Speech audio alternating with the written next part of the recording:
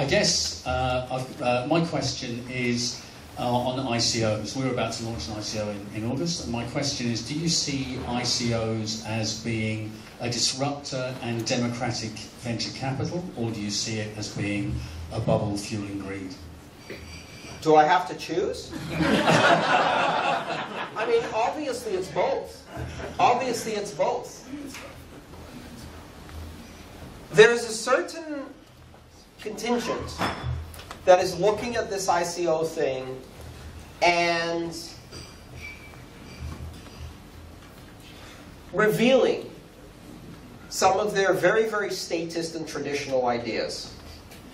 Part of the reason we have things like the SEC and securities laws and the restrictions we have on initial public offerings was because in the beginning it was a crazy out of control bubble.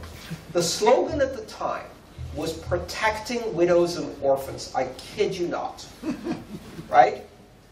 And so the regulation would probably be called the Protecting Widows and Orphans Act of We Are Now in Charge, Pay Us.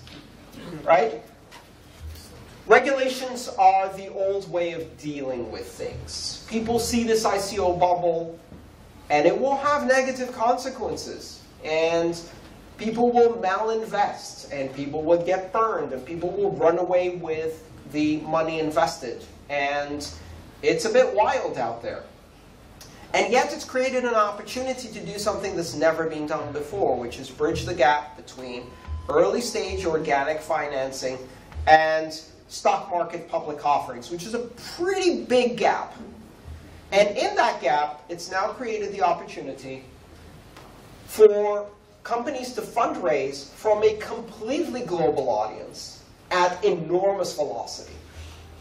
That will create a very new environment for fundraising. It will create some spectacular successes and some spectacular failures.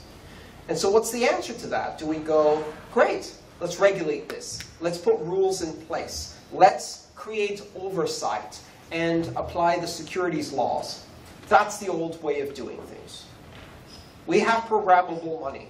What can we do with programmable money that's different, that's new, that's decentralized, that allows us to reimagine funding and fundraising with protections driven by crowdsourcing.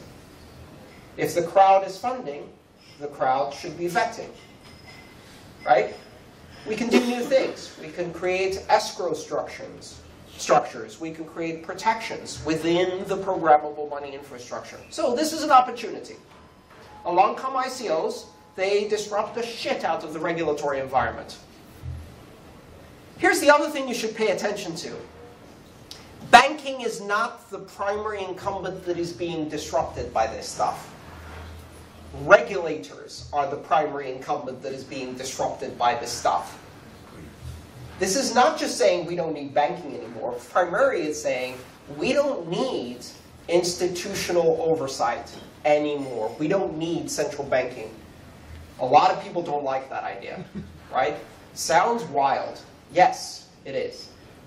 If you don't invent some new ways of doing things better. And I think we can. So now we're going to see a lot of funding, and part of that is going to create these big bubbles that are going to burst and reinflate and burst and reinflate, and every time they're going to be bigger and bigger. In that, people are going to be burned, lessons are going to be learned, and people are going to build solutions because it will become profitable to build good solutions that are decentralized and give us consumer protection.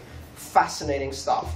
I can't wait to see it. In the meantime, I'm not going to be investing in most of these like 99.999% of these ICOs.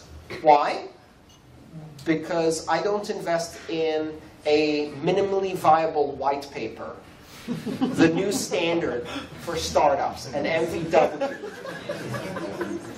Peter Todd actually went one further and he said, we don't even need that. Here's a minimally viable tweet for an ICO this is my Bitcoin address. Fund me. You get nothing in return, guaranteed. People sent him money. Awesome. We're redefining entrepreneurial capitalism. We're redefining corporations. We're redefining securities. We're redefining fundraising. We're redefining stock markets. We're redefining everything financial and the regulatory system around it. Hang on. It's going to be interesting. Thank you all so much for coming.